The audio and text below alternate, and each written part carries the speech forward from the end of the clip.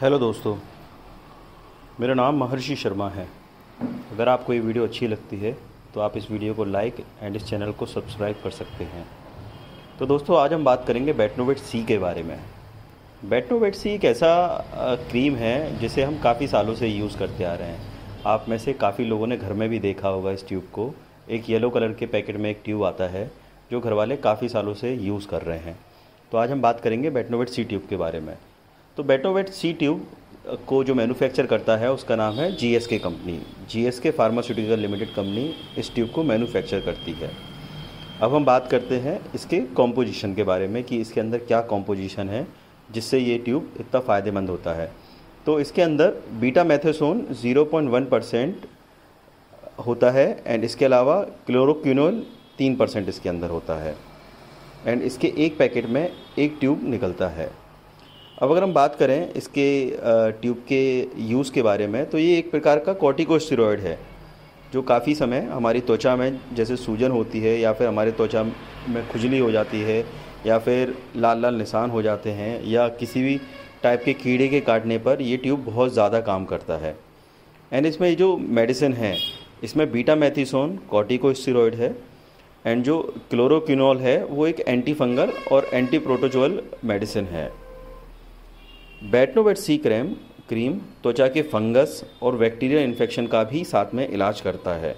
And इसके अलावा काफ़ी बारी जब हमारी स्किन सूज जाती है या उसमें लाल लाल टाइप के निशान या चकते टाइप के हो जाते हैं तो उसको भी ठीक करने में ये हमारी हेल्प करता है। अब ये करता कैसे है? ये बेसिकली हमारी स्किन के ऊपर एक कवर टाइप का क्रिएट कर देता है। और जब स्किन पे कवर टाइप का क्रिएट कर देता है तो जो पहले प्रॉब्लम हो गई, वो तो रिजॉल्व हो जाती है। एंड उसके अलावा दोबारा जो प्रॉब्लम है, वो नहीं हो पाती। एंड दोबारा जो संक्रमण वगैरह होता है, या जो बैक्टीरियल इन्फेक्शन होने वाला होता है, वो बैक्टीरियल इन्फेक्शन दोबारा नहीं होता।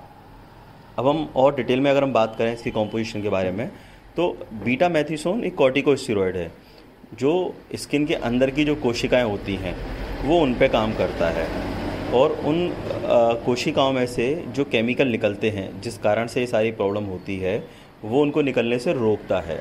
जब वो केमिकल निकलेंगे ही नहीं तो वहाँ पर जो खुजली है या जो सूजन है, वो वहाँ से रुक जाता है।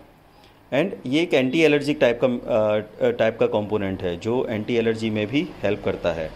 इसके अलावा जो क्लोरोक्यूनोल है, वो जीवाणुओं को रोकता है, और ये एक एंटी फंगल से रिलेटेड कंपोजिशन uh, है जो एंटी फंगल चीज़ों को भी रोकता है।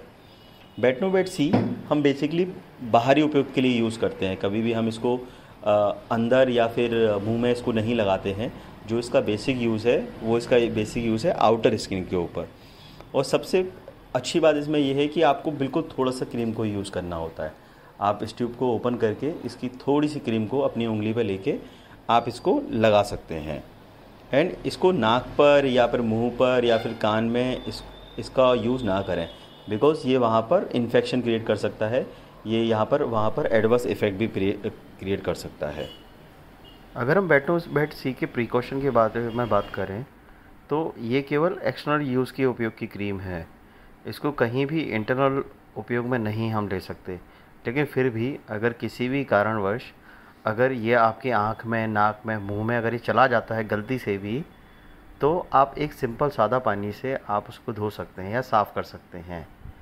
एंड अगर हम इस दवा के साइड इफ़ेक्ट के बारे में बात करें तो खुजली, सूखापन, लाल लाल निशान, जलन होना इसके बेसिक साइड इफ़ेक्ट हैं। लेकिन इन केस अगर आपको खुजली, सूजन या सांस लेने में तकलीफ़ अगर हो रही है इस क्रीम के उपयोग के बाद तो आप अपने डॉक्टर से कंसल्ट कर सकते हैं। सबसे पहले डॉक्टर्स को ये बताना ज़रूरी है कि ये आपने किस पर्पज़ से आप इस ट्यूब को यूज़ कर रहे थे। और इन केस अगर आप प्रेग्नेंट हैं या फिर आप ब्रेस्ट फीडिंग करा रही हैं तो उस केस में भी आपको सबसे पहले डॉक्टर से कंसल्ट कर लेना चाहिए। इसके बेसिक लाभ के बारे में अगर हम बात करें तो ये स्किन में होने वाले संक्रमण या फिर स्किन में होने वाले फंगल इन्फेक्शन उसके अलावा सूजन, खुजली, इन सारे चीज़ों में सबसे अच्छा उपयोग में आता है। इसकी कीमत, जो अभी मार्केट में इसकी जो कीमत है, वो कीमत है इसकी फिफ्टी थ्री रुपीज़ तीन पैसा, यानी तिरपन रुपये तीन पैसा इसकी कीमत है।